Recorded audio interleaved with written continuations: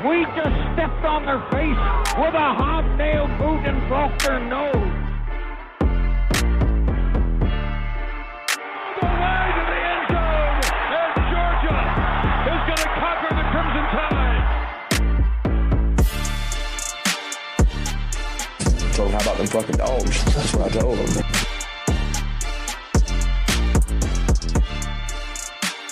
Hope it didn't take that long again. Go dogs. Dog Nation, we are back in the building. It's 100 Sanford, it's Lovelace, it's Foster, and guess what, Foster? It ain't gonna take that long. I'm just gonna let the fans know right now. Kirby said it ain't gonna take that long. It ain't gonna take that long again. What's going on today, brother? Hey, I'm in the house. I'm in the house today. We back. Um, a little less melancholy. You know what I mean? Uh, we, you know, uh, with recruiting and all that, it seems like uh 24 season has started up already. Yes, you know, sir. We putting, we putting the hay in the barn as far as recruiting goes. Um, still got that number one class of some some young youngsters that are, you know, coming to help us get back to the top of the mountaintop. It ain't like we fell off the mountain. We still hanging up there, che- checking out things. You know, we Yeah. just let somebody else. We let somebody else uh hold the controller for a little bit. You know what I'm saying? You can play a little bit. We let play a little bit. Hey, hey, y'all, you know what I'm saying? We play it, but we, we're gonna take our controller back very soon. Yeah, man. very soon. we know that time is coming. You know what I mean? Like, look, we're going to get into all of this. We got Graham coming on. We got a great guest coming on today that's actually going to help us talk about a little bit, a little bit what's going on with college football, right? College First thing I got to ask you, though, what sweatshirt you got, brother? What what sweat what sweatshirt is that? Is that straight from you know the equipment manager? What is that? Because I, I like that. I like that. no, man, I had to, I had to, I had to buy this, man. I probably got this off of, you know, some website. You know, who knows? We'll figure it out. Come you know, on. maybe, maybe I probably might say who it is one day. They they sponsor, they sponsor us. Yes, sir. Yes, sir. Yeah, man. I got I got a little Bengay on my shoulder, you know, uh, like the Biofreeze. Yeah, brother, I'm trying to get sponsored by them because you know you, you get a little older, you got the little, get the little bruises. You gotta, you know, you gotta get that. But uh, but hey, before you go any further, you already you know what to do. Hit that subscribe button. Foss, show them where it's at. Show them where it's at on the screen. There it is. There it is. Yeah, hit that subscribe button. Make sure you like the show. That way we continue to grow. We continue to give y'all everything that you need. Then head on over to IG, TikTok, Facebook, and the X. Like and forward the show to all your friends. Then, last but not least, you already know what to do. Go over to Dog Nation. I mean, go over to Dog Central, the collaboration for the nation for intel, posts, pods, video, and everything that you need to get from Dog Nation. Then you already know what to do. Everybody needs insurance. It's Christmas time. Times is tough. Times is rough. But make sure you take care of your family. Hit up my guy, Justin Elijah, based in Texas, but a dog man through and through who was licensed in all 50 states. He worked with various major uh, carriers, Mutual of Omaha, North American, AIG, and others, along with offering affordable options in life insurance, retirement plans, and others. Give him a call, 229 400 4759. And when you call, make sure you tell him 100 Sanford hit you up and sent you there. Last but not least, you already know we were talking about gear. Now, I don't have mine on today. I got the old school joint on today. But head on over to Home Field Apparel, our favorite spot to get unique, comfortable, and officially licensed NCAA apparel. Choose from a wide selection of Georgia apparel in over 150 colleges. I got to get my wife the new Pitt joint. I got to get my brother the Duquesne University joint. My dad's a Pitt alum. I got to get him some stuff. So, hey, it's the holidays. So use the online convenience and order the gear with the unique logos, mascots, and iconic moments. Uh, use the promo code 100 Sanford for 15% off your first order. That's 100 Sanford for 15% off your first order. And we promise you won't be disappointed. So, Foss, let's get back into it. Like I said, we got Graham getting ready to come on. Man, I like. I, I need to get. I need to get that sweatshirt, man. We, got the same thing going joint? on, man. Yes. Yeah, your hat, my hat matches your shirt. What the, we, you know, we can switch, but you know, mm. I'll be I'll be big um, guy in a little coat. or no, I do be big guy in a little coat. I'll be I'll big guy. I might be drowning. Yeah, I don't know. I don't know if I can borrow that one. You did. Nah, I tell you what, Foss, man, you want you one of my partners, so you know what? I already got the address. You never know when something might come in that Christmas bag for you underneath that tree. I got you hooked up, man. Um, We got Graham coming on. You know, Graham's a little slimmy slim, so we got to get him like a small or something like that. I don't know, but you know, we'll we'll take care of him. them young them slim fellas. but man, look, we got to calm Dog Nation down. I mean, Facebook, Yeah. IG. I mean, everywhere you go. I was in the grocery store, ran into somebody here in Virginia. We were talking about the game, and man, they were like, "Oh my gosh, you know, we lost, and uh, we're falling back to the '80s." To the '80s? Like, what, what are y'all talking about? you must be talking about 1980 when we won the championship and it was ready to hit, you know, go for another. Come on, people are Oh, going man. People, man, that like the the the panicking is ridiculous. Yeah, man. all of Yes. a sudden, all of a sudden, uh, we you know it's dire straits. All of a sudden, you know, ah, Bobo is It's Bobo's fault, right? Everything was crazy. You mean you mean the Broyles Award nominee? Oh, oh, man, they get the news about the news about you know we got some more news coming up. you Yeah, know, definitely news to talk they get- about. They get recruiting news, and you know they they they want to jump off the they want to jump off the boat, and you know it's like just relax. Well, relax. Foss, look, we We can, we still, can, we still we still getting the best kids in the country yes, that fit our program, yes, one hundred and percent. and we and we and, and we got a we have an undefeated regular season team coming back you know most of the most of the guys from that team like and then we have guys that were hurt that's coming back you know some some studs yes, you dig that that are coming back like we're gonna be fine just relax no, relax. these people are like chicken little, man. They running around screaming, heads cut off, the sky's falling, the sky's falling. Bama, you know, Bama got us, Bama going always get us, and I'm like, y'all gotta relax that thing. But then obviously we get the big news, and we can start talking about this. Like I said, Graham Coffey's gonna come on, one of our partners is gonna come on, he's gonna help uh, you know, add a little bit more context to this. But we get news that the number one recruit in Georgia's class, mind you, the number one recruiting class in the nation that was that was almost dang near bound to break records. Um, he's taking visits and he's taking a visit to Nebraska. Nothing has been settled yet. And as we all know, Nebraska was one of his finalists to begin with. He's got family there. Um, his dad is familiar with that area up there, right? So that is on the table. But here's the key there's always another team on the table for a recruit. The bottom line is is that Georgia has to do what Georgia has to do to recruit the best players that it can recruit. And, it- and after that's done, the decision's in the hands of the player. So the player that we are talking about, Dylan Raiola, yes, the number well, he was the number one quarterback when he was committed to Georgia. I mean, by the you know, in, in the last few months, a lot of a couple guys have passed him up. Uh Julian Sayin has passed him up. Um, there's a you know some other ones out there, but what are your thoughts, man? What are your early thoughts on all of this? Because again, people think the sky is falling just because one guy has maybe decided to maybe take a different course of his own life. the sky was falling when we named uh uh Stetson Bennett starter for the Dogs. right? How did that turn out? Facts. How did it turn out twice? Facts. the sky's always falling, you know, with with Georgia football. So, you know, I'm I'm not surprised. Um, but people have to relax. You know, uh, you do like more times than not. It does take a uh, a good effort from your quarterback to win and to win big. Um, so you want the best talent you can get in house um, at that position. But um, Georgia is a well-rounded program. you know. And also, first of all, now, now, granted, typically nowadays in recruiting, where there's smoke, there's fire.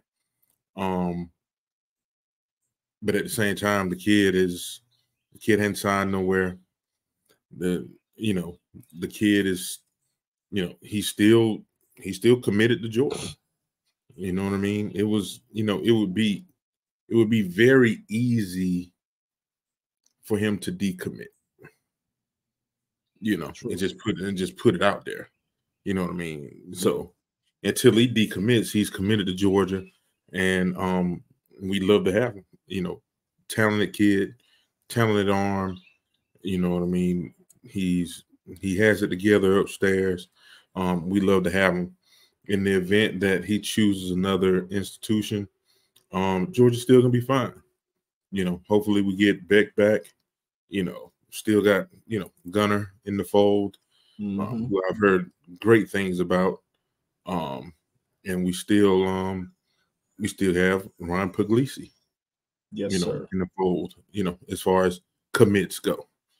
You know, so um, you know, um it's it's hard for me to get riled up about a teenager that made I, I, got, I have teenagers. I have, right? I have I have kids his age. listen, listen. Let me tell you, you know they they they are a trip. You know what I mean? Yeah. Including world class athletic uh high school football players. They're all a trip. Yeah. You know what I mean? So they they they make the decisions that they feel are best for them. Hopefully they make informed decisions.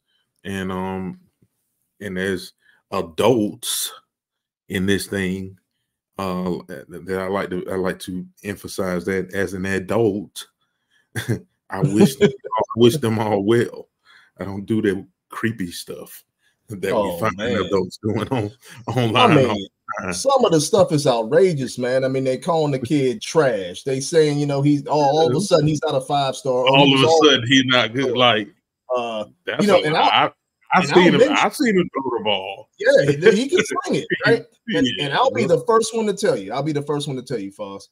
When I was always big on Ryan Puglisi, and here's the reason why I was big on him was because I like his toughness. He kind of reminds you of like Brett Favre. You know what I'm saying? I, I kind of like that style of quarterback to begin with but I do like the way he's always stayed settled and committed. That's the one reason I liked him, even when he, you know, he committed early, right?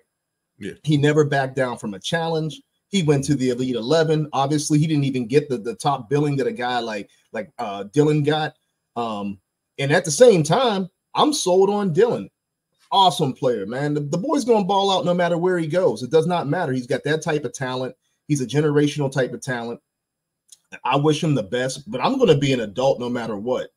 I'm never going to clown a kid, never going to down a kid. People would be surprised at how many individuals, how many student athletes right now that have either flipped their commitment from Georgia or you know, never even committed to Georgia that I actually, you know, talked to, man. I mean, DM that back and forth. Oh, thanks for I appreciate you for this. I appreciate you for that.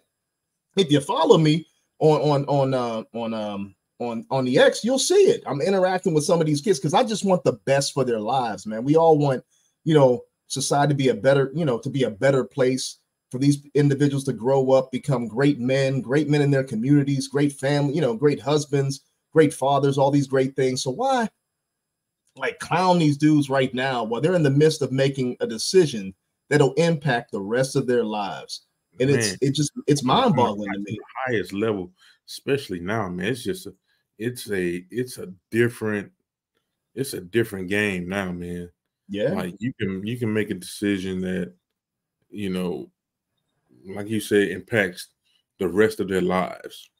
Yeah. Like if if these if these numbers and stuff that I'm hearing are legitimate, like around the country, what these players can make. Listen, 99.9% of them will never see an NFL locker room. No. That is a fact. If you can make life changing money to enter the world with after you graduate, and by, by making a decision on where to go to school to play to play a sport, Right. listen, do it. Make the best decision for you. I, I'm I'll never be mad. I'll ne- I'll never be mad at that.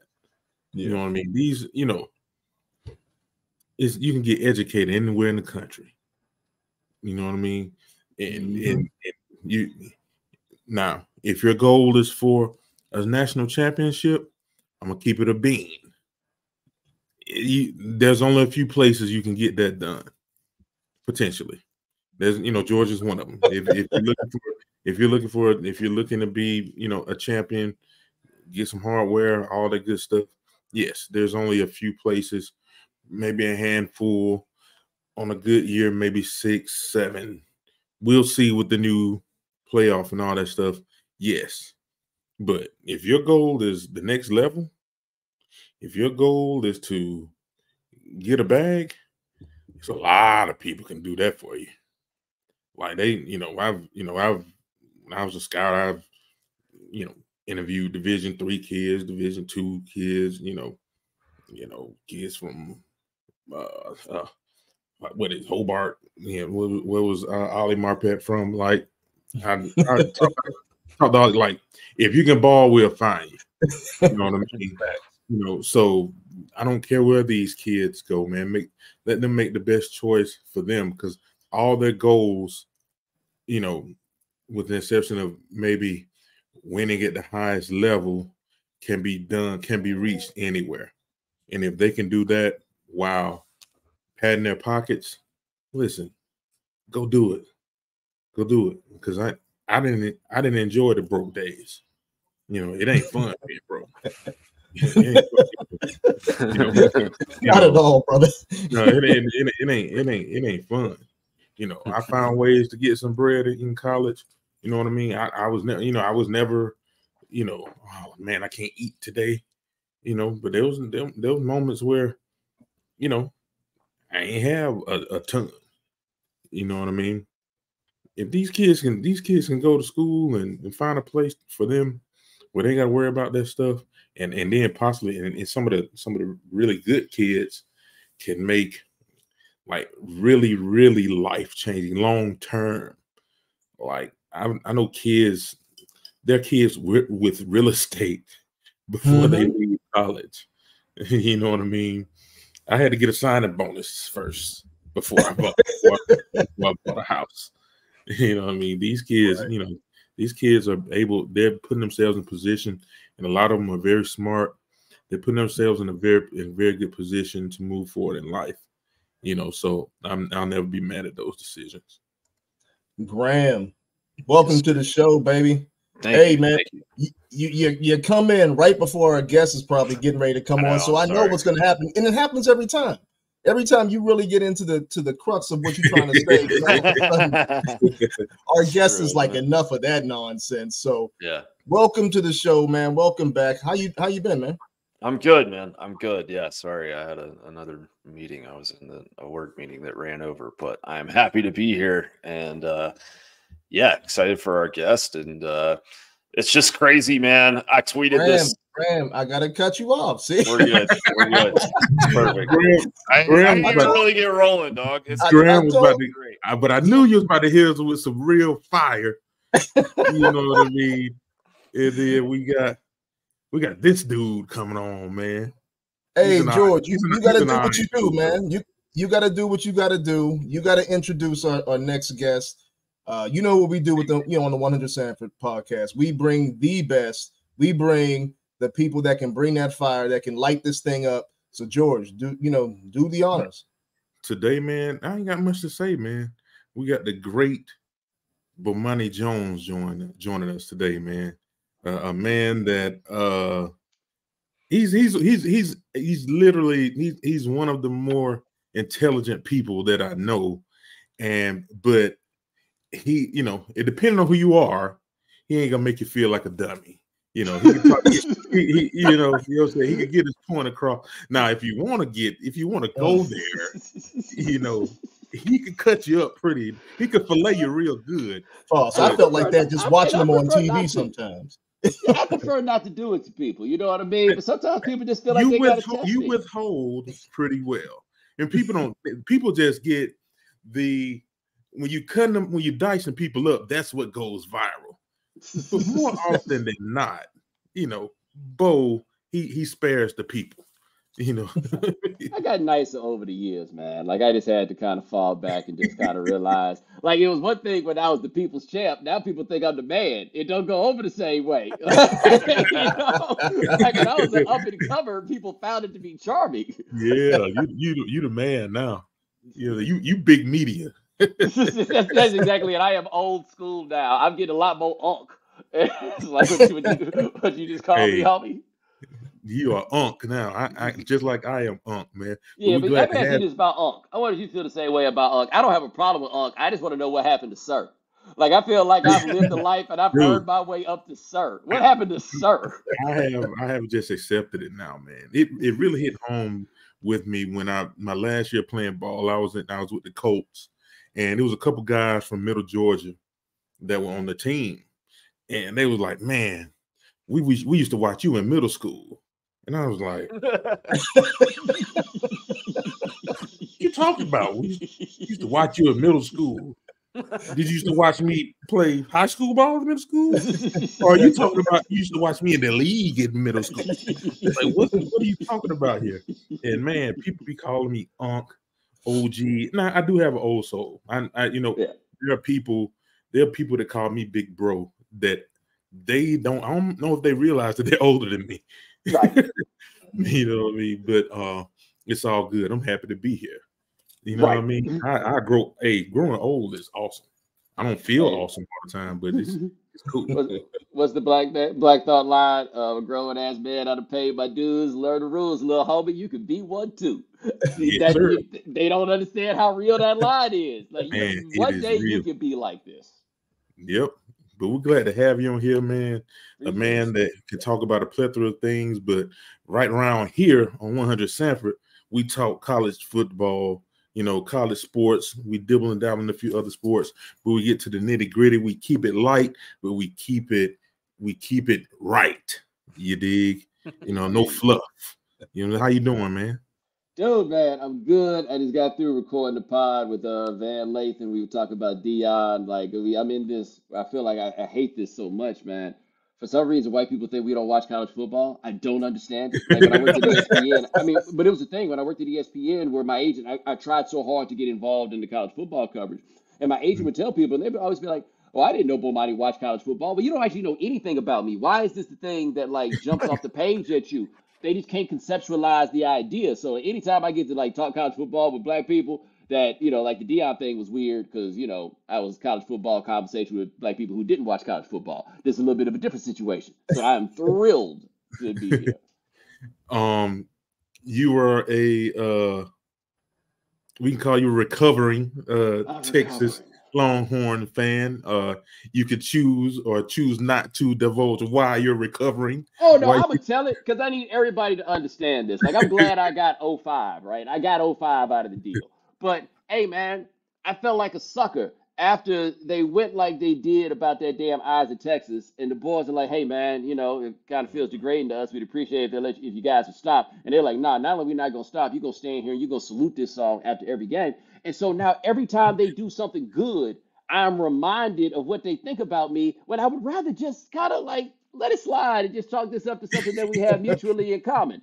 And so I just like I can't I can't be who I am in this world and still and still be out here riding for this. Now I'll admit it was a lot easier to do that when they was out here going six and six, seven and five, right? Like, Yeah. it wasn't too it wasn't it wasn't that hard to quit when that was going on. Um, but when uh when Sark took the job and it was very clear that they told him you're gonna say at this press conference that we gonna say in the eyes of Texas. I was just kind of like, man, I can't rock with y'all. And then it didn't feel bad because that was seven win Sark at the time. Like that's what they called him when he was at Washington, right? And I was like, oh, okay. I mean, how far is this really gonna go? Apparently to the to the playoff, boys. Sark got that. Sark learned some things down there in Tuscaloosa. Got that thing humming. Mhm. What what what what you what you think about them, man? They uh I- I- what I want to know, and I and I wrote this down to ask you, is it fool's gold, or do you know enough mm-hmm. about them to say if it, is it fool's gold or is it real? What do you think? So this is my thing with them is that the fall of the Texas football program, and this is something that you know, with UGA you guys could relate to because the same thing was going on at the same time. Georgia was able to do enough stuff around it, but where you go one of these ten year stretches where you don't produce any NFL offensive linemen or like mm. barely any, and you and, and in the state of Texas in particular, it just didn't make any sense. Where they were just getting hammered at the line of scrimmage, like to you know Yeah. make it relevant to Georgia again. That '90s run of playing against Spurrier, Spurrier wasn't beating them with his brilliant offensive scheme. Them boys were mauling them at the line of scrimmage on both sides. And Texas had become a program that was weak on the line of scrimmage. The boys do not look weak on the line of scrimmage no more, Jack. no. That that that does not seem to be the issue And to put that that they in- got. to put that in perspective and just because I I'm I'm part of this stretch before Isaiah Wynn went in the first round, who was the last first round lineman they had? If I'm not mistaken, I'm talking to him right now. You are That middle- correct. that middle school player. Yeah, That stretch, that was like a it's like what was 15 that, years. 15 years. Yeah. Yeah. like 15 years. That's unheard of. You don't win, you can't win championships like that. Mm-mm. Like you gotta you gotta pump out first and second round uh trench guys consistently to Yep, be in and that- be in, and that and we, Kirby we era. in that Kirby era, them names started rolling out there. Andrew Thomas Oh, yeah. coming off the line, right? And it starts going. Yeah. Texas, like Charlie Strong got Connor Williams in. I think that was the first one they'd had. The Cosmi dude that plays for Washington now was a Texas guy. But even then, like, you have to get that straight. Even in the Big 12, where you think you don't need that stuff. Oh, no, no, no. You need it. And to go to the SEC, they really need it. Because my read on Texas going to the SEC was Otherwise, they never get any players because the SEC West was just coming in and taking all the good players from Texas. But now, finally, they have an incentive and they have to be good because they'll get embarrassed over here in a much different way. Like getting embarrassed in the Big 12, people come over and laugh and say you're not good. You come over here and get embarrassed in the SEC, y'all gonna be on the big game a lot because you got the biggest fan base in the conference. People gonna be watching you get your ass whooped week after week after week. and they and they changed a lot. They changed how they do things at the stadium. They they they have ramped up the environment all because they don't want to get embarrassed when they come over there to that real. So so they changed so they changed the whole like like the whole experience. Yeah, you know, because they had a rep. It's a bit of a library um, there in Austin. It's the rep that they'd always had. You go watch these games now, just on TV. It feels different. That's funny because I don't, you know, Graham went there. Um that's what Georgia used to be. Yeah. Even when even winning 10 games, 10 winning 10 wins a year, it didn't matter. It was not the same experience as it is now at a Georgia game. Them games lit now. And when I say lit, they got the, the the the LED lights and the whole place turned red, and they playing Pastor Troy, and you know, all, like it it it really goes down in Georgia now. It was a country club when I went there.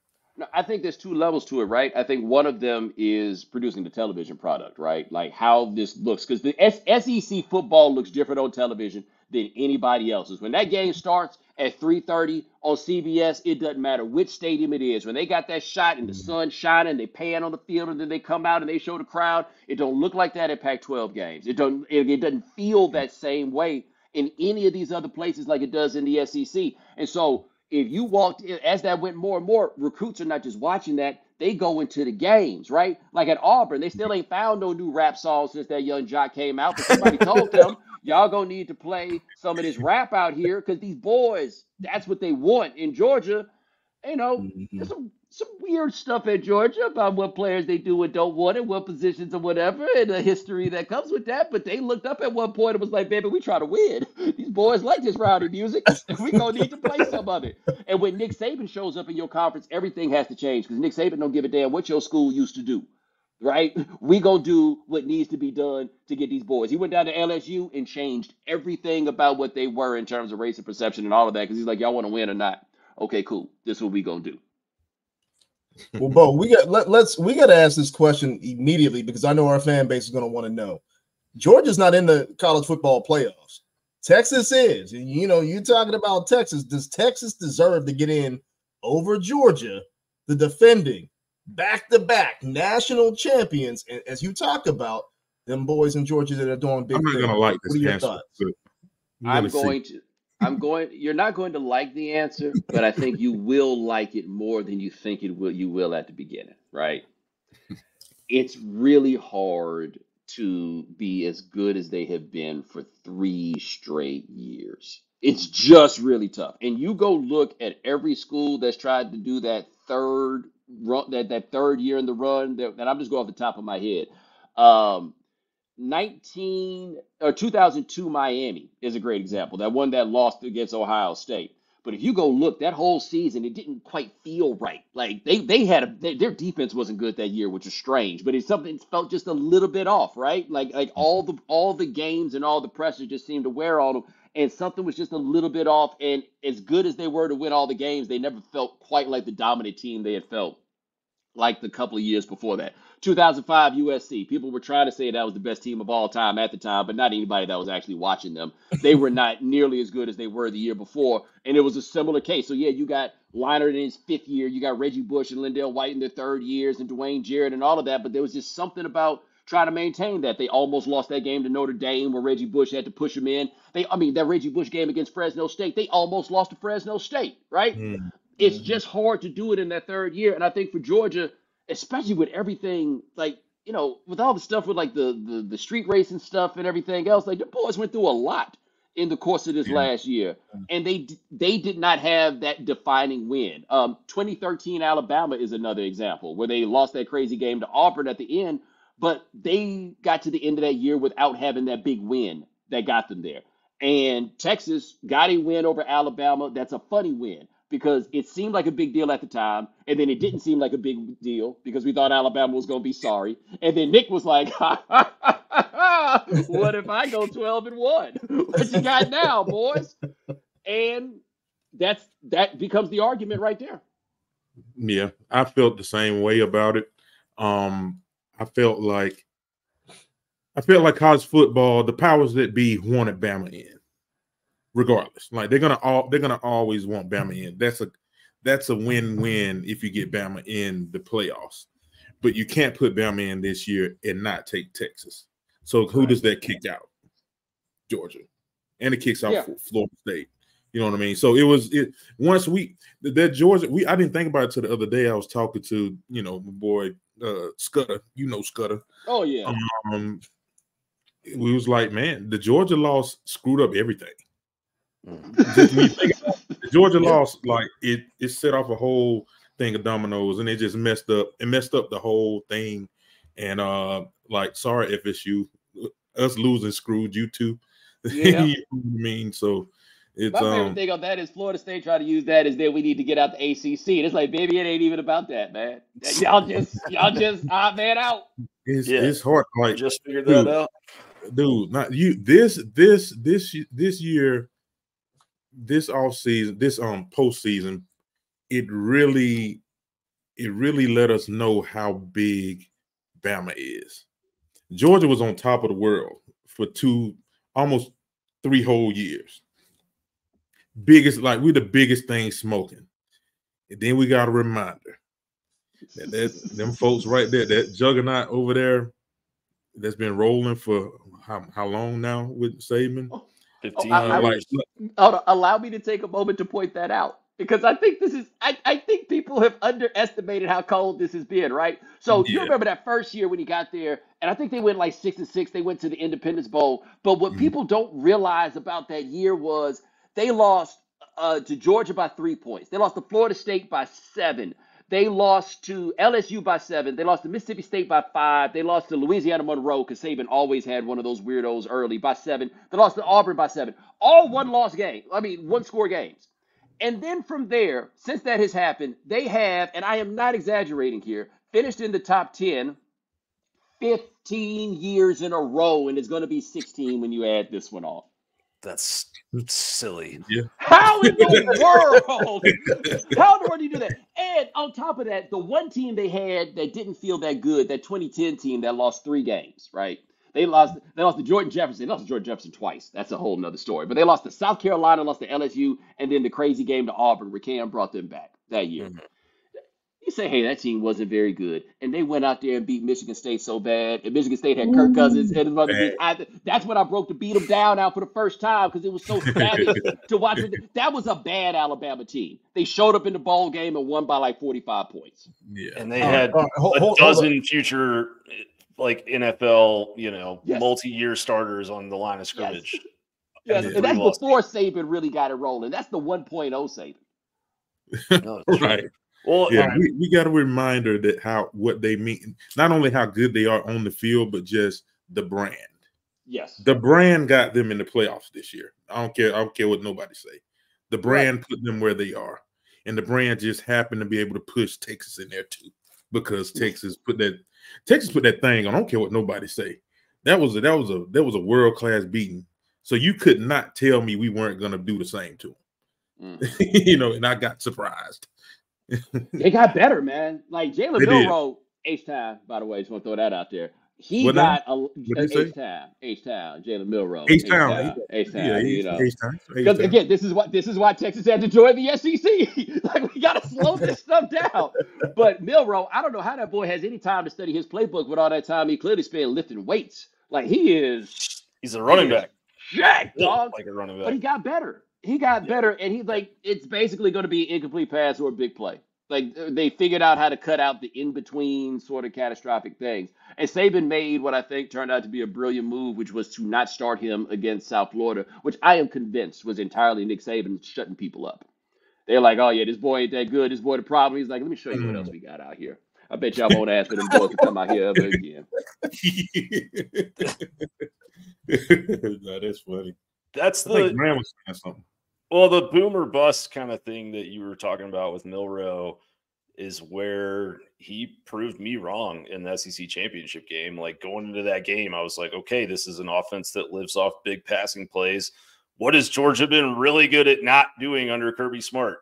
Giving up big passing plays. Like they'll be fine. And Georgia did hold them yardage wise to a, a reasonable number. It was like 306, I think, but hmm. he was extremely clutch down the stretch of that game when they needed first downs and whether that was with his legs or making tight window throws with his arm on short to intermediate balls like he did what Georgia basically said we're going to force you to do this and if you can do it then we might get beat but we don't believe you can and he did it and he deserves credit for that like he has become a very different player over the last 3 months Yeah, I want to know how Alabama just keep rolling the same wide receiver off the assembly line. Like, if you notice, for like the last five years, all their receivers look exactly the same physically. About five, five, ten, somewhere between five ten and six foot, about one ninety to two hundred five, maybe just tanks, mm-hmm. just bowling balls of dudes. That's the exact same guy over and over and over again. You can't do nothing with them. That's what they want. That's what All they, right, they, look, look. George, we, we got to switch it, man, because see, Bamon, he's going off on Saban, right? Our, our fan base ain't going to like it. We we got we got so many Bama people in our mentions, it's crazy. What are your thoughts on Kirby though? The last few years, and Kirby coming underneath Nick Saban, obviously from Alabama, but the job that he's done the last two to three years, obviously going for a three-peat this year, which fell a little bit short. What are your thoughts on on on Kirby Smart? I mean, it's amazing. He is, I mean, already the best coach in the history of the program, right? Like, no disrespect to Vince, but let's be honest about this. You look at what Kirby has managed to pull off. This program has never been at these heights consistently when it was not centered around Herschel Walker, right? Like, as much as all of us love Vince Dooley, even Vince Dooley ain't stupid about this, right? Like, you know what the clear line of demarcation is 1980, and I guess they stretched it to 83. But like the clearly we know what time it is with that program. What Kirby has done has t- is this is not the job that Mark Richt took 20 years ago, right? Like the the ceiling on this program is so much higher because of the ceiling on the population center of Atlanta, the access to talent that there now is, except for the fact that Georgia ain't even recruiting the Atlanta area so much in that way. They are knee deep in the most talented area in the country, and they ain't even got to do that. They just go get in whoever it is that they want, and they just keep. Right, right. And they're just like, this is no longer a regional program. It has never been a national program in the way that it is right now. And that's Kirby. My question about Kirby is at some point the offense is going to have to become a little bit more daring. Like that's my thought at some point. Except they won two national championships with Stetson Bennett when I thought that that wasn't possible either. But it felt a lot like he was playing like the beta version of Saban Ball, that 1.0 version. And you wonder when the 2.0 is going to come, or, or maybe not. Because I don't even have to look at the roster and know they just gonna roll out here next year with a bunch of cold ass dudes that's gonna make this look just like they did the year before. Like they're not gonna have Bowers, obviously, and that's gonna hurt. There'll just be some other super fast guy. Like George Pickens up there killing it with the Steelers when he can get his mind right. George Pickens is down there in Georgia being really talented and us wondering if he was ever going to put it together, and it didn't matter. They just giving the ball to somebody else. Yeah, I think I think Georgia's in a space where uh, I think they have opened it up a little bit. You know, they rank they've been in the top top ten, ten to top seven yeah. offenses in the country the last three four years or whatever. And um, but I think I think we're at the situation. We're at the we're at the cross point in I think all of sports really because I, I watch it in basketball too, where it got so much finesse that bully ball really works now. Mm. You know what I mean? Like I, it kind of, it kind of, the light bulb kind of went off with the the 2020 Lakers. They were bigger than everybody. I know this is basketball, but it, it, it's gonna make sense to you they were so big that it didn't matter. And yes, you call it bubble or whatever, they had to play them games. And they were just so much bigger than everybody with Dwight and JaVale and whoever else they whoever else had out there. And it kind of nullified the finesse game. So the thing is now when when these teams, these teams in football are built for finesse, built to stop the pass, built to be fast, and you get a team that comes in that can bludgeon you and you don't have anything to stop it. You know, and so that's what I think is happening now with the teams that, you know, that ultimately win it. You know what I mean? They can they can bludgeon you if they need be, like Georgia did the last couple years. Yeah, I think that's the thing that people lose sight of, man. And you, you know, you guys got more actual football background than me, but I don't care what the analytics or anything tell people. Getting hit in the mouth over and over again, man. That's undefeated, dog. that, you can tell me how many more yards you can get than anything else. I just can't imagine the feeling of just lining up and you know they just gonna lean on us all day long, man. And there's nothing we can do about it. what do you uh what do you think about uh okay, playoff is going to what is it, 12? 12 teams. Thumbs up, thumbs down. Wow. You know, I'm all out on the playoff completely. Um, because I just don't think it Yes. It's a it's a television attraction. It doesn't give you a truer champion, right? Like the more rounds you play, the more likely it is a good team loses. You know, like like having a conference championship game, for example. I'm a Big 12 fan. We don't watch so many teams from the Big 12 get knocked out because they had to play this extra game, that extra game, that 03 Oklahoma team that looked like the best team I had ever seen. Got knocked out in that game they still made it, but you know what I mean? The same idea just kind of cuts down on your chances. And so they can go to 12 if they want to, but man, the number 12 team ain't got no business stepping on the field in most seasons with the number five team that we're going to see in these rankings, especially not if they get like some kind of break to prepare. Because that's what was killing when Alabama would go out there and play against Michigan State or Washington, having a month to get ready. I'm just like, bro, y'all ain't got no chance for this, man. Like, you give these people a month to cook up a game plan and they got better players. Like, this just ain't going to happen. So they can add to it and it'll add more television inventory, but I just don't feel like it's going to add to our overall level of enjoyment of it. Like I think it's better for the coaches to not have 12 because when you don't make the playoffs and it's only 4, it's not that big a deal. When you be like, yo, you've been here 7 years and you ain't you ain't been in the top 12 once, like now suddenly Lane Kiffin mm-hmm. stop looking like a success and start looking like, "Hey man, you can't just get up over that little line right there." Well, so you talked about the level of enjoyment, but what about okay? So you're out on the college football playoffs, but you got the portal, which everybody's talking about. You know, this is disrupting my level of enjoyment. I'm losing this player, losing that player. What are your thoughts on the portal? What's your thoughts on NIL? Because that's really changing college athletics, even though it's been it's been a long time coming. But what are your thoughts? My big thought on like I think the most unique or interesting thought I have about NIL is we need to make sure these boys ain't getting like robbed on these contracts because a lot of these contracts I bet are looking like payday loans where they giving these dudes a little bit of money right now and then they saying they gonna get a cut of their money once they get to the league or the next level of their lives. Like we're gonna I think we're gonna come back on the back end and find out a lot of guys have been stolen from in a way that's terribly uncomfortable. Uh, the transfer portal the hypocrisy of allowing coaches to leave whenever they wanted to, but players had to wait a year, necessitated this world where now the players can leave after a year. It is my belief that a lot of terrible decisions are being made, and I don't, I don't think this is, I don't think this is helping these players, right? Like, so I think about Quinn Ewers, for example, who left Ohio State when he lost that job to C.J. Stroud and he came to Texas. It worked out okay. That's fine. Got you. That dude could have been throwing like throwing to Xavier Worthy is cool, but that dude could have been throwing to Marvin Harrison Jr. this year. He still would have got that job. He whatever his draft situation was going to be was going to be exactly the same. All you got to do is put up one year of good film. Go ask Joe Burrow. Go ask Cam Newton. Like you don't have to have all these years of film. You don't need to play all these years. And I think that long term for these players, like George, you tell me if I'm wrong here being at Georgia for four years allowed you to make the relationships and things that have guided like the direction of your life, right? And put you in positions where there's people looking out for you that would not have looked out for you if you had just stayed there for a year and then bounced and gone somewhere else, or you had showed up late and you were the guy who transferred in to be on the SEC champion, right? Like that's not that's not the same. I'm looking at these dudes like, don't you want a car dealership? You ain't gonna get no car dealership bouncing around all these places, man. They would be so much better off sticking around and y'all not going to the league. That's the other. If I felt like these dudes were doing all this bouncing and then they go go to the league, like you just going somewhere to play somewhere else. What are you talking about? That just doesn't make any sense to me. But that's where we are. And so with the portal, everybody has the right to make bad decisions. But I think we need to be honest about the fact that this portal is leading to a lot of terrible, terrible, terrible decisions. I think that I think that part of it needs to be highlighted. It, it's twofold for me.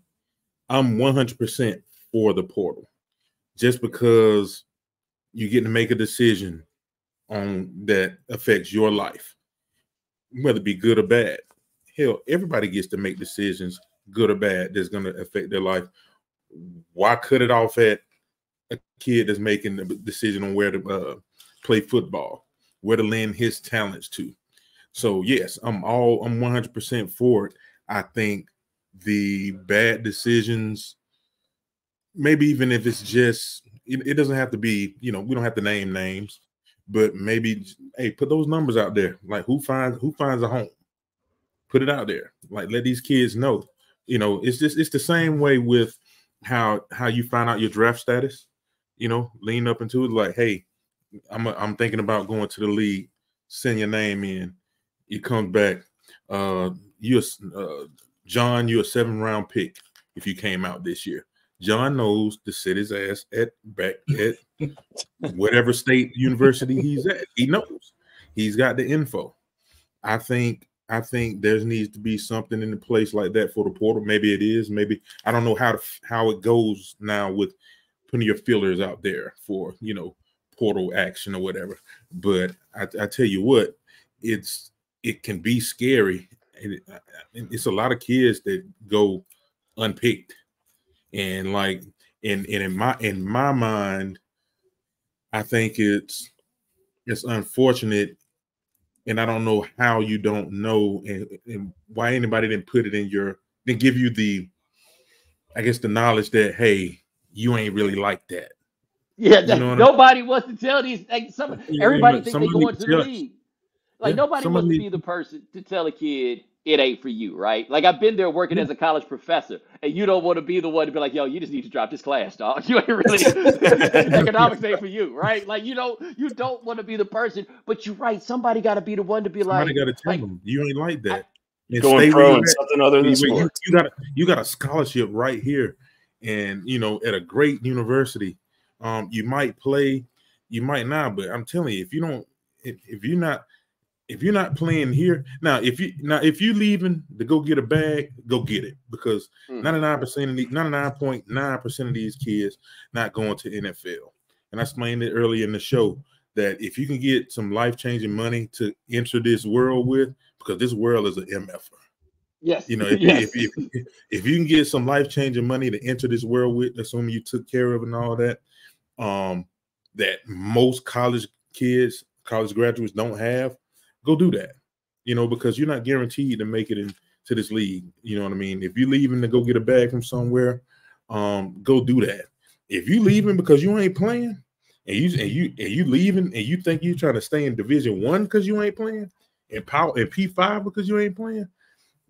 If you ain't playing at Georgia, you're probably not gonna play at Auburn.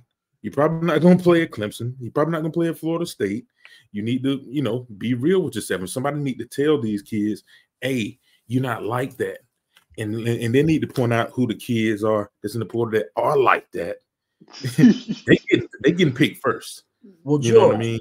here, here you go. Because this is a, this is a great transition because didn't Deion tell a bunch of kids that they weren't like that? Yeah, So but I he wanted told it, but but he told them kids they was like that before he even looked at them. Like some of the some of the dudes he told wasn't like that. They was more like it than they replacements. Like them offensive linemen that he ran out of there. They was they, they wasn't like it. Couldn't have been worse than what they had. Right. man. They Right. wasn't saying they was like that. They was like, no, we, we like this. We we are we are like this. And he ran them off. But I say this about Deion. Deion want to build this program 40% transfers, 40% grad transfers, and then 20% high school recruits. And I mean, this is a generalization. I'm not 100% like precise on what I'm about to say here, but you telling me that 80% of your roster is quitters. Yeah. Like some of them were some of them were making an upgrade and getting in these places, but you're getting a whole lot of quitters out here, man. And I do think that there's something to looking at it like beyond just the pragmatics of trying to make a football team or whatever. I think there's something truly about, hey, this is a challenge. I'm gonna try to I'm gonna make this happen. I want to do this here. I'm about to get it done. Like there's there's something to that that is very important. And Mhm. I thought that if you didn't want to leave so bad that you were willing to sacrifice a year, you probably needed to stay. I never I never thought about it in this way. Um and it's odd because it uh this is it's my story. Um I didn't play right away. I got red shirted. Um probably got my first start in my red shirt sophomore year, didn't start the whole year. Um then I started for real my red shirt red shirt um junior year or or no red shirt freshman year my first start redshirt sophomore year, um, probably started for real, you know, all the games.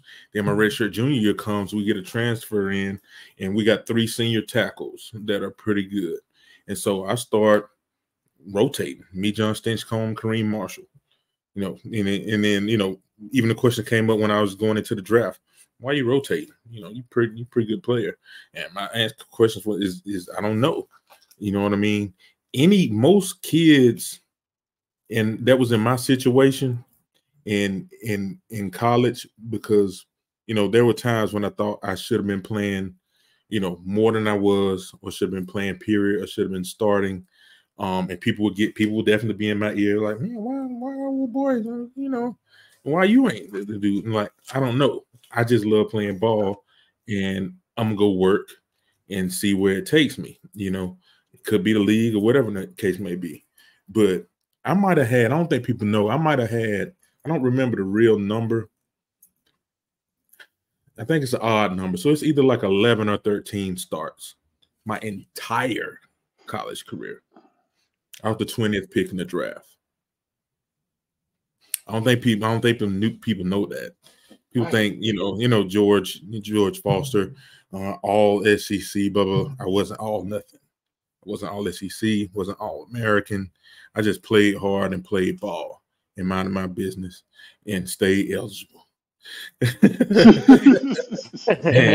That's so like crucial. and and I was the first lineman taken off that team over the All Americans. Of all that, I was the second tackle uh overall in in my draft class. You know what I mean? I understand if you want to leave. I am a proponent of kids leaving if they want to leave. But I can tell you, you better make the right decision. You know, I got a close friend that, you know, you know, you know, I don't think he minds me saying that. He probably wish he had stayed at Georgia. because the coach that he was going to go play for came to Georgia anyway. Oh wow. yeah, he left to go play for another coach, and he ended up coming to Georgia, and he was stuck mm-hmm. out there. And I, I feel like, and I feel like he was a good player. He was good enough to get some run at Georgia eventually. You know what I mean? Now, now, granted, we I couldn't think in the way these kids think now because the option wasn't there. You know, but the same, but the same, but but the the premise is still there that you have to go to a place that you know you roll the dice and you hope it's uh, the right decision. But um, it, a lot of good can happen with staying with your program. It's happened with the Georgia. like, Who, who are those those kids uh that went in the first round for Georgia a couple years ago? You had uh what's my man um for the uh Packers? Quay Walker. Quay Walker. Yeah, that was his first year starting. I think that was. I think that was Tindall's first year starting. I think that um like did uh that was um hell Jalen Carter did he start he started one year One year. Yeah. I Well, think also Jalen Carter look at what Stetson, how bad Stetson Bennett wanted it. Now, I like, you know, like, now fourth that's what- round nobody Yeah, thought he would yeah. do anything but the idea though, even if he never got drafted, there's a car dealership waiting on that boy in Athens. The second he wanted, there's a radio Yeah. job waiting on Sell him. Insurance He for the rest Yep. of his life. He would never be, even if they didn't win a national championship, he would never be loved anywhere like he was for the fact that he loved Georgia and he stuck it out there at Georgia. You know, and that's where there's a long game to be played. part. Yeah, and and there's and, it- and it's a glorious me. long game too yo, like, people it don't get it. There's no grown people. Like there's grown people to talk to you about that money to make it to the league. But I guess maybe you need more guys. Like just throw a name out there. I don't know if Eric Zeier be around all the time, but I bet you Eric Zeier show up at Athens. They happy to see him. There's something to be said about having a place where people happy to see you. Bobo No, don't get let to me tell- call let his you plays who's the- at Georgia tell you all who's these the man. years. let me tell you who's the man David Green Yeah, let me tell you something Yeah. he is he is he is him in Georgia. He is he is him. You know what I mean? Stetson got some championships. David Green is him. Hey, you they- know what I he, mean? he was there for They the resurgence. love David Green. He huh? was there for he was there for the resurgence. Yeah, they love David Green. You know what I mean? Like it's like, and, and I'm glad you brought that up. These Aaron kids they- oh, Aaron Murray, Aaron, like he's the guy.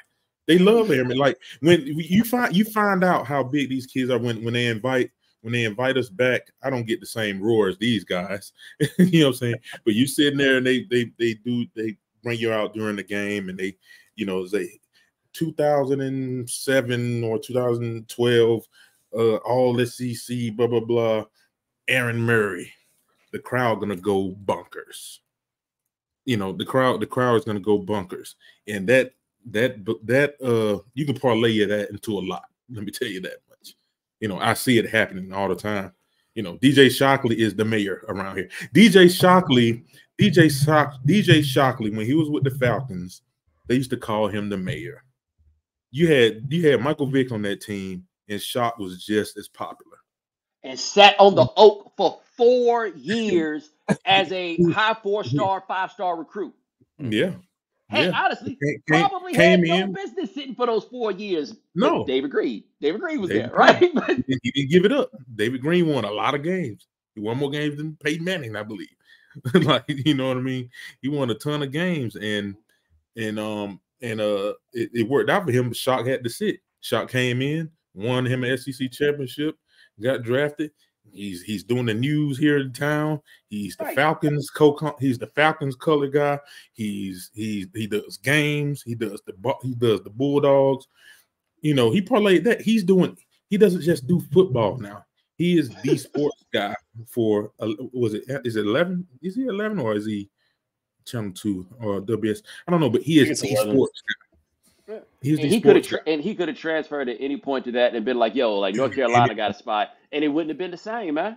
It just never would have been the same. He got it at Georgia because not- he waited. They love you him definitely not gonna he- he go- wait.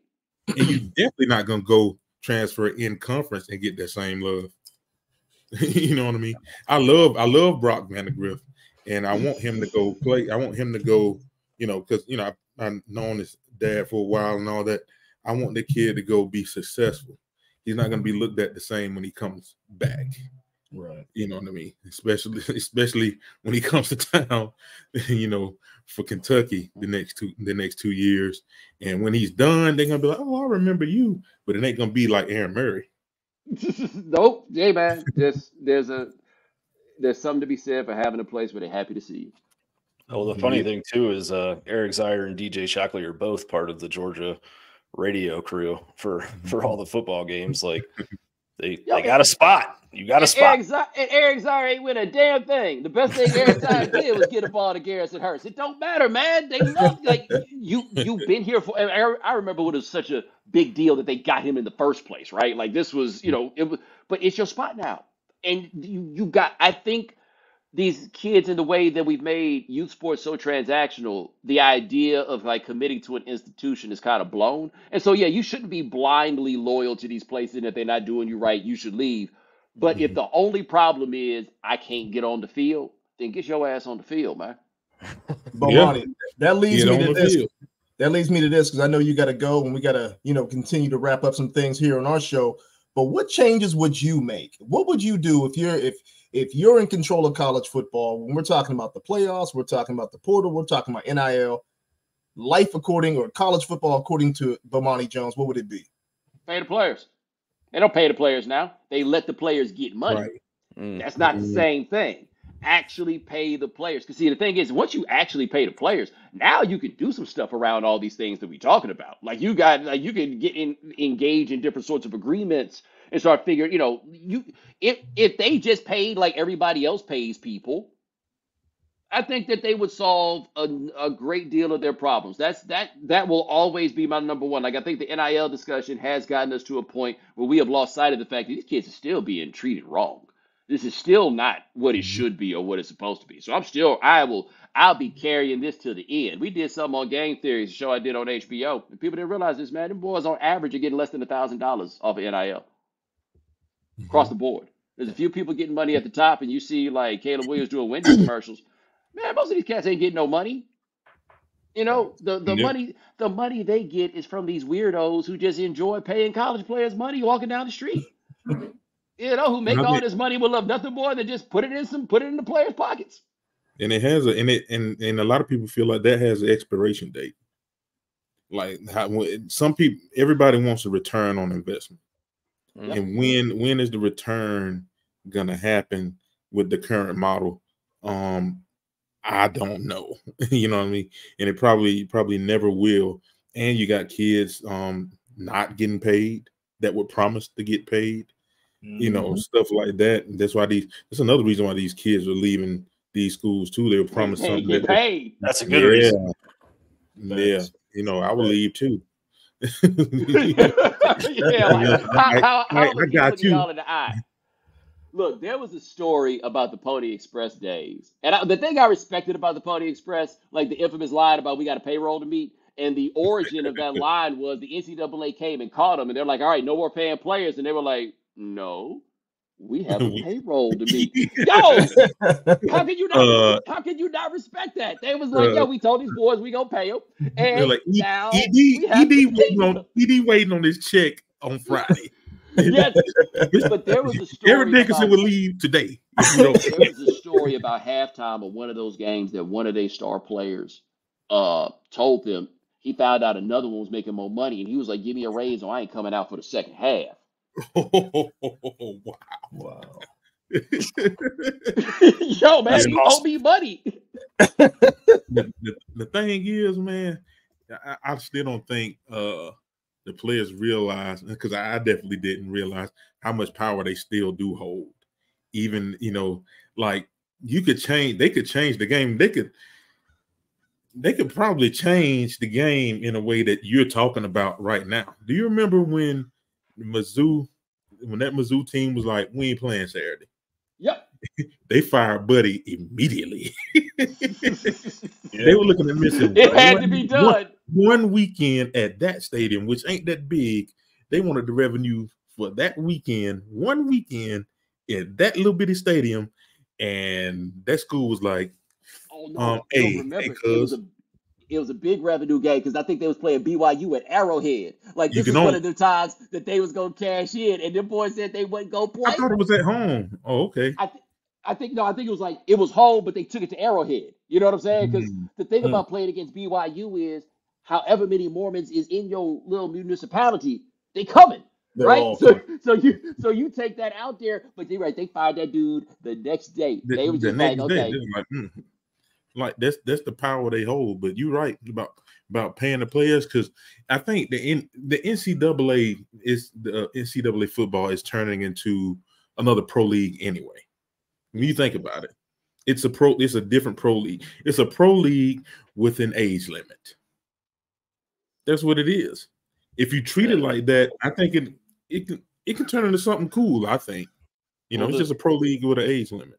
The new proposal to, you know, basically bring all this in house and split Division One into schools that can afford to, I think, pay all their roster what thirty grand a year. Is it? Is that like the the floor or something? Um, but they just put this this proposal out from the inside of the NCAA last week, which is, Mhm. or two weeks ago, which is the most revolutionary thing I've seen the NCAA do in my lifetime. Like, I think it's coming, and I think if you talk to coaches quietly, like they don't want to get up and use their platform to lobby for this stuff for lots of different reasons, but like they would much prefer all of this to come in house and not having to wonder like what is this collective doing? You know, is are they going to try and recruit the same guy I'm recruiting? Like what, you know, there's a lot of just red tape and tangled webs to navigate for these guys right now on top of everything else they have to do with their jobs and like i think that uh anything that would make this simpler and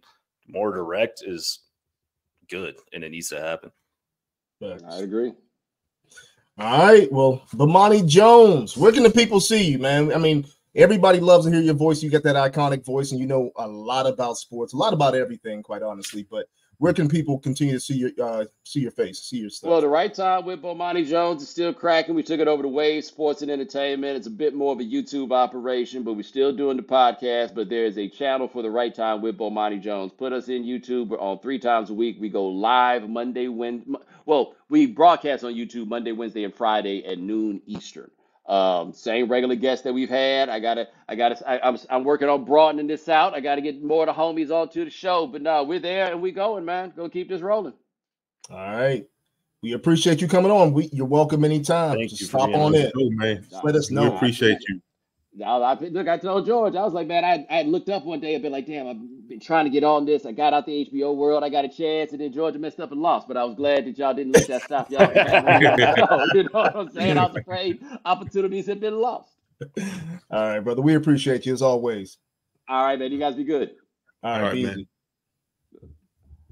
All right, man. I appreciate y'all. All right. All right. absolutely thanks for coming on man Yep. Hey, Bomani Jones, brothers. How was that? Good, good. I- Bomani always has interesting takes on a myriad of things. You know, he's very, very well thought, thought out person. You know, he ain't, you know, he ain't spewing a whole bunch of ridiculousness. You know, he has, he has his, he has his, uh, he speaks so well about what he speaks about. Mhm. You know, Exactly. he, he- Exactly. he can get, he can get his point across better than most people. you Exactly. know. So so it's good to have him on. He made some made some uh some some good points. Made some good Yeah. points about a few things. Well, we got to get back to the main thing. Uh, the main thing. Well, we we didn't Yeah. get we didn't give Graham the the, the no floor. no When What, what Graham is it, came Graham? What you got? What you got for well us, i gotta Graham? follow that come on now Yeah, What man. you Oh. gotta for us, that. Graham? Graham always got well, something and, and for let, us, let me set the table. Let me set the table because before you came on, we were talking about the portal that's what i uh, a little bit, but mainly we were talking about the big news that hit Dawg Nation um, with the thought of Dylan Raiola um, possibly decommitting to Nebraska. Um, what are your thoughts on that? Give us some intel. Give us what you know. Give the people what you know, and because we got to calm down, Dawg Nation, with all this. Not they think the sky's falling, baby. Well, it's it's it's interesting. You kind of you know ask about Raiola and the portal in the same question because they are at their core, they're the same issue, right? Yeah. Like, and and it's the issue we were just talking about with Bomani. It is, I'm special. I should be on the field. You know, like, I, and, that's the hardest thing. And George, I mean, you know, it, it's different. I think from when you came up, like this modern recruiting era with star rankings and thousands of fans like sucking up to these kids, these 15, 16, 17, 18 year old kids on Twitter. Like sometimes it's a little uncomfortable to watch, honestly. Um, Yeah. because it's just look, man, like I I think all of us as human beings, like we have to uh sometimes to get to where we want to go in life or to be happy where we are in life, like we have to defeat the ego a little bit, right? Like we have to do some work on that and that thing Mhm. will pop up and you got to knock it back down sometimes and uh to I'm reading the books be- about that. Yeah, man. And to be in those formative years and have everyone telling you how great you are and how you're going to change their program when, you know, when you might, but in reality, you are all, you are one of 25 in that class, or you are one of, you know, however many that are going to come in in the transfer portal. Like the NFL draft is an event for outliers. It is. It's, it's, it's the, Mhm. it's the 1% of the 1%, you know, I mean, there's only, what 256 slots i think in the draft? Like that's not that many guys. And i just you know not everybody's going to get drafted. And you know there are guys who they get somewhere and it's it's not a fit or or mom's you know not doing well. Like there's there's good reasons to transfer. But i mean you brought it up earlier george like quay walker channing Tindall these guys who were five star recruits who were number one like inside linebacker in their class kind of thing and waited three years to get on the field like and, and then when they got there they balled out and they went to the league and and you know in a lot of ways there's less mileage on their bodies and and they might have a better chance of making it to their second contract but like with this Raiola thing I, I've gotten like I got to know him a little bit. I went out to Elite Eleven and was around him. Like I want to be clear, I think he is a a good kid. I think he's a well intentioned kid. Um, Mhm. you know, and, and I I didn't experience him as you know a bad kid or anything like that. Um, but at the same time, like four high schools in four years. Uh, this will, you know, if he leaves Georgia, it'll be his third commitment within, I think, a couple, you know, years. Uh, at some point in life, like there is power in staying through things that are uncomfortable or fighting thr- through what you want. And like when I was a kid, you know, I uh, I wanted to play football really, really bad. My dad, uh, son of a, a high school football coach, uh, co- coached in, in Georgia and Cartersville and all over like for many years. And so he had one rule when I wanted to sign up for football, and that was you, you don't quit. Like if you if you're going to sign up, then like you, you know you're going to play the whole season. And I was you know at that time in life, I think I was like ten years old, and you know some of the kids were more grown up than I was, and I you know like was was a smaller guy, and like I went out there the first couple weeks, and I got the shit beat out of me. You know what I mean? Like I was not a big kid. I was taking hits, and I was not comfortable or having a good time. Right? but I knew, I knew that like I couldn't, I couldn't quit, and that like you know that that was never going to be an idea or a thought. And I and I stayed, and like I got bigger and I got faster, and I ended up starting some games at the end of the season, right? And like it was it was a good thing for like my self confidence as a human being to you know have that experience of like being a little bit you know not a little wobbly on your feet and finding a way to steady yourself and then finding a way to be successful. And uh you know that that's i was an eagle scout i think a lot of that was because of that season because like it was a long-term commitment and you know i got a driver's license and like i wanted to you know chase girls and go go do things but like i had said i was going to finish that and so i finished it and now you know in life that people, you know, it's on my resume, even as a 34 year old man. And people ask about that and they're like, oh, like, you know, you must finish things. And so I think it's good to finish things. I, I, uh, I'm with George. Like, I'm glad that people can leave and go if they need to go or, you know, go take care of family and all of that. But in most cases, like they they really shouldn't be leaving. You know, there's there's Mm-hmm. still a lot to learn, and um, you know, Marvin Jones Jr., like Julian Humphrey, like Julian Humphrey is a really talented player. I had people close to Georgia's program Very tell me in- in fall camp. Like he is probably our most talented cover corner, and that is on a roster with Kamari Lassiter. You know, um, like at the end of the day, he he wasn't getting on the field all the time because he didn't do the greatest job always of getting off blocks and he didn't come up and run support the way that that Kirby Smart defenses demand their boundary corners do. If he learns how to do that, he will be all the more successful in the NFL. He will be all the more successful at UGA. He will be He can play like Witherspoon at Seattle. I mean, he's Yeah. got that type of body frame. Yeah, you know? he's. I mean, he's like built like a safety. You know, he's Yes, built like yes. Starks, and he can come up and thump people. Like he can be a really special player. And at the end of the day, I think what's probably going to end up happening if he does decide to hit the portal is like he's going to get a nice check to go back to his home state of Texas, and he's going to have pretty much a guaranteed starting job.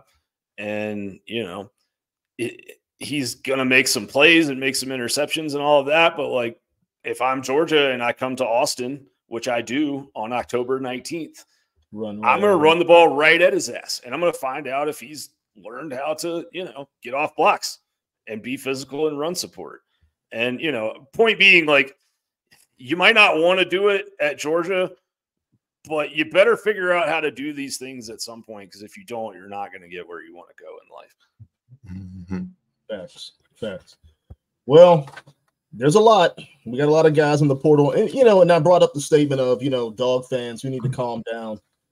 Because I mean, there's a lot. There's a lot of guys in the portal, but they're not guys that are going to make or break the entire operation. They're not tearing down the culture. They're not, you know, reestablishing anything for Georgia. They're guys that either we're not going to see a lot of time or they were going to be depth guys, or like you just mentioned, with someone like Humphrey who who may portal out. We haven't uh, haven't declared that yet, but at the same time, he still needs to grow. But there's other guys on that roster that are that are willing and dedicated to being that dude, willing to and, and dedicated to be a part of the Georgia culture. Nothing has changed. Like George said before you even got on, we're still at the top of the mountain. We're just Yeah. allowing somebody to, you know, kind of see the see the mountainside and you know from you know from up there, and then all of a sudden we're going to take over again because Kirby's got a good thing going. He's got a excellent culture, development.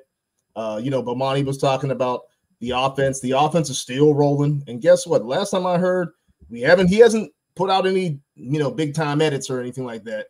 But Beck should be back. And as long as that guy's under center, I'm You got a fine. shot to win the title. You got a shot to win a Yeah, title. That dude is going to be a first round pick next year.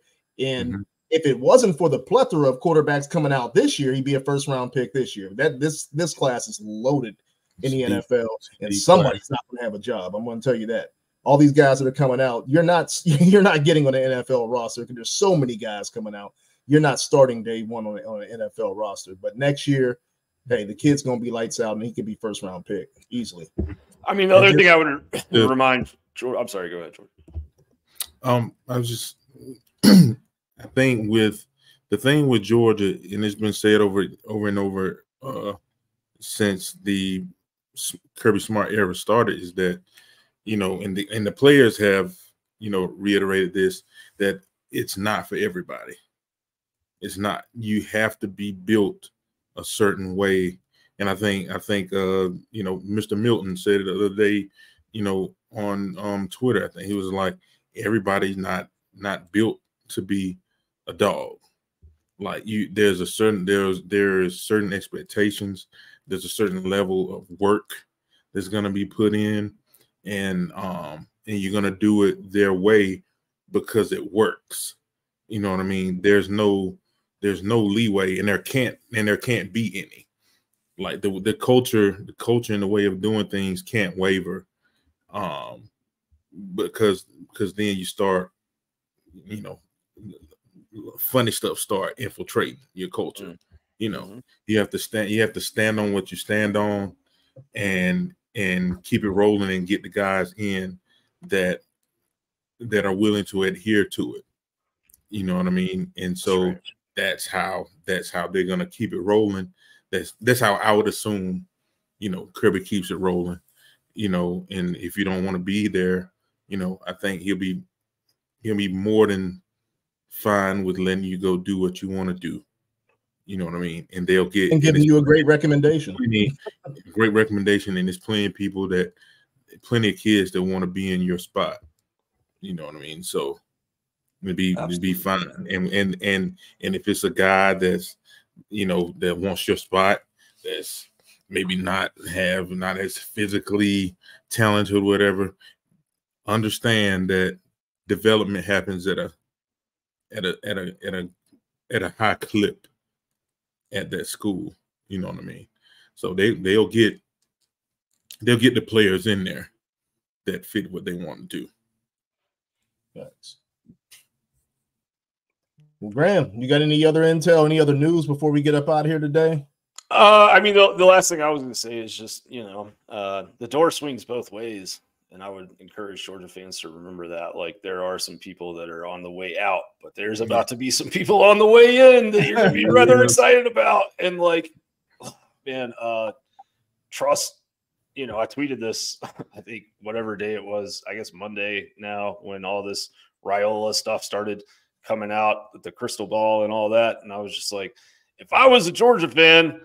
I would probably trust the staff that just won 29 games in a row. Like I think they'll Right. figure it out, you know. Um, Yes, they'll figure it out. so I think it's gonna be all right. And uh I'm excited to see like, you know, I I don't think Georgia wanted Marvin Jones Jr. to get in the portal and leave. He is a supremely talented football player. But now that he is gone, uh, you know, this is the best, I think, problem-solving staff in college football. Um they, they solved a problem with JT and Stetson midseason with with that whole situation. Like there's many instances of them not having the guy they thought that was going to be there and and figuring out on the fly midseason. I promise you they'll figure it out with with this much time between, you know, now and the 2024 season starting. So it'll it'll be fine. Facts. All right. Well, we're gonna have another banger next week. We got to start talking about the uh the big Orange Bowl game. Um, we got FSU coming in, and we gotta we gotta dig into that because there's gonna be there's a lot of people pissed off. I mean, Georgia fans are pissed off, FSU fans are pissed off. So we got to bring somebody in to talk about all this pissed off attitude that's going on around this game. So, uh, but I can't wait to talk about it. There's Can't wait to see you guys I don't know. I don't know who's playing, who's not playing, but man, it's just um, es- especially if this was back in the day. This was this, with how everything shook out. If it, if there it, is the potential was there for a slobber knocker. It's two teams that's very that are mad about what happened, you know, a couple weeks ago, and um, there's there's potential there for a real, you know, throwdown. You know, you know things are different in today's game with people sitting out, people transferring all that. But um, I hope it's a I hope it's a really I hope it's a really good a really good game. And we shouldn't get it a will leg be. because it's before it's before New Year's too. So we shouldn't get guys hungover. should, should get a you know, you might get some people to travel down there that can also get back, you know, back to their respective places before New Year. So it should be a pretty good game. I can't wait for it, quite honestly. Yes, sir. Absolutely. All right, fellas. With that being said, we'll see you at 100 Sanford. Go All dogs. right. See ya.